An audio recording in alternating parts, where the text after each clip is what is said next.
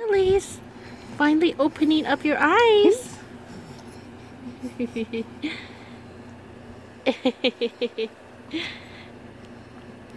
Two days old. Oh, open both eyes. Hi.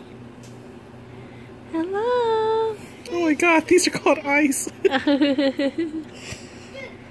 Hi, Kira. hmm? Come look at Elise.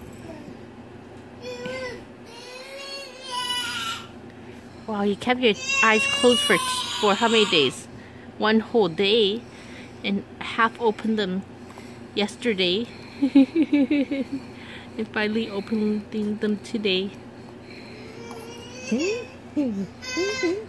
come here, Kira, come here.